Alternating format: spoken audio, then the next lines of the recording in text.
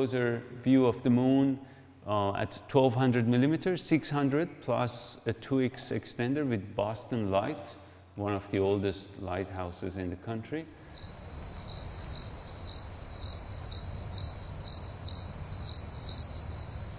Sea swan, it's uh, just a 30 second exposure through the telephoto lens.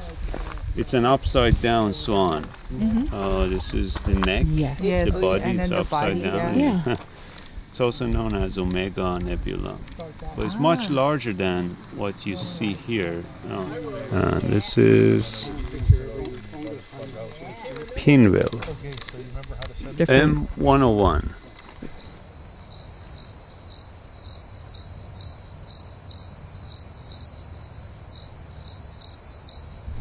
Yeah, come over here.